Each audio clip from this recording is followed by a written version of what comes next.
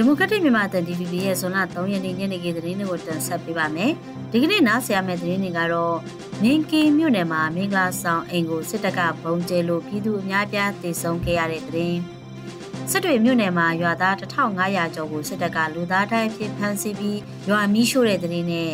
နာမည်ကြီးရွှေဆိုင်ပိုင်ရှင်တွေကိုစစ်ကောင်စီကဖမ်းဆီးစစ်ဆေးဖမ်းဝရမ်းထုတ်လိုက်တဲ့သတင်းတွေကိုနားဆင်ရမှာဖြစ်ပါတယ်။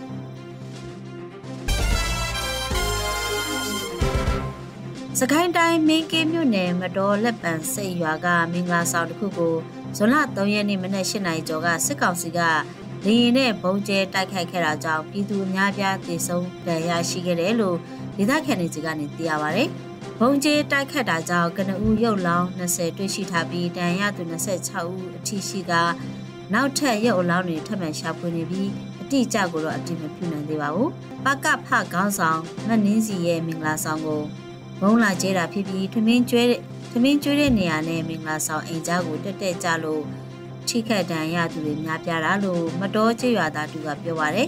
စစ်တပ်ကလေရင်တွေအဆက်မပြတ်ဝဲပြန်နေလို့အလောင်းအကုန်မကောက်ရသေးတဲ့အကြောင်းနဲ့တေဆုံးသူတွေထက်မှကလင်းငယ်တို့လည်းပါဝင်တယ်လို့မင်းကြီးပြည်သူ့ကာကွယ်ရေးခေါင်းဆောင်တူကပြောပါတယ်ရှင်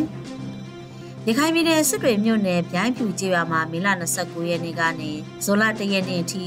အမျိုးသမီးနဲ့ကလေးသူငယ်1500ကျော်ကိုစစ်ကောင်စီတပ်က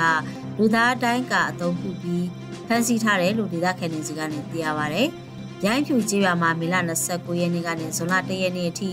အမျိုးသမီးနဲ့ကလေးသူငယ်1588ယောက်ကိုဖမ်းဆီးက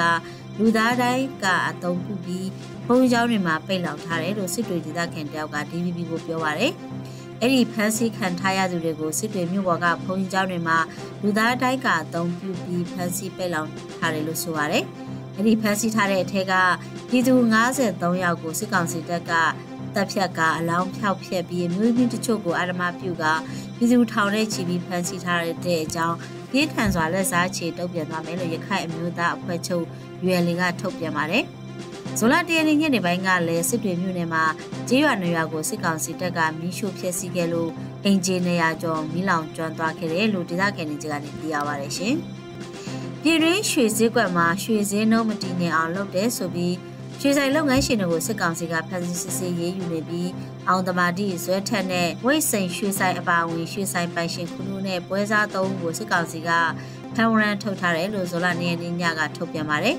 စစ်ကောင်စီတပ်နဲ့ပြည်ထရေးပေါင်းကရန်ကုန်နဲ့မန္တလေးကရွှေဆိုင်ပိုင်ရှင်တွေရွှေလုပ်ငန်းလုပ်သူတွေနဲ့ပွဲစားစုစုပေါင်းအယောက်90ကိုမေလ30ရက်နေ့ကဖမ်းဆီးစစ်ဆေးရမှာထက်ပြေးသူ10ဦးရှိတယ်လို့တိုင်းရဲတပ်ဖွဲ့နဲ့နှိစက်တူတူကပြောပါရယ်ဖမ်းဆီးခံရတဲ့သူထဲမှာမန္တလေးကရွှေဆိုင်ပိုင်ရှင်ရွှေရည်ကြိုလုပ်ငန်းနဲ့ပွဲစားအယောက်20ကိုနန်ရီစစ်ကြောရေးမှာစစ်ဆေးနေပါတယ်။ရန်ကုန်ကနေဖမ်းဆီးခံရသူရ30ကိုတော့ရန်ကုန်တိုင်းစစ်ကြောရေးမှာစစ်ဆေးပြီးတဲ့နောက် ရွှေစိမ်းနှုံးမတည်ငြိမ်အောင်ဈေးကစားသူတွေကိုသိရှိခဲ့တာဖြစ်တယ်လို့ရွှေလုပ်ငန်းရှင်တို့ကပြောပါရယ်။ရွှေစင်းလုံးမတည်မငြိမ်ဖြစ်အောင်ဆောင်ရွက်နေတဲ့တရားမဝင်ရွှေရောင်းဝယ်ပြုလုပ်နေတဲ့ပွဲစားတွေအပါအဝင်စုစုပေါင်း100ခန့်22ဦးကိုဖော်ထုတ်ဖမ်းဆီးစစ်ဆေးနေတယ်လို့ဇွန်လ2ရက်နေ့မှာစစ်ကောင်စီကထုတ်ပြန်ပါတယ်ရှင်။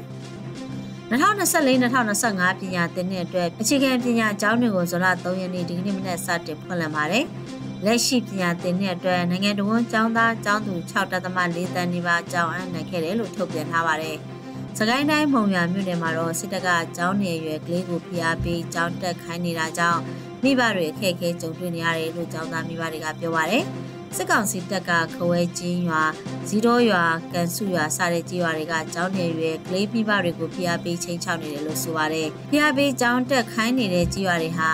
စစ်ကောင်စီအထိုင်ချစခန်းဖြစ်တဲ့အနောက်မြောက်တိုင်းစစ်ဌာနချုပ်ရုံးဆိုင်ရာနီးကကြီးရွာတွေဖြစ်တယ်လို့ဆိုပါတယ်။စကိုင်းတိုင်းတော်လှန်ရေးအားစုတွေကတော့စစ်ကောင်စီရဲ့လက်အောက်ခံကျောင်းတွေမှာကျောင်းမထားကြဖို့ဒေသတွင်းအမိန့်ထုတ်ပြန်ထားပြီး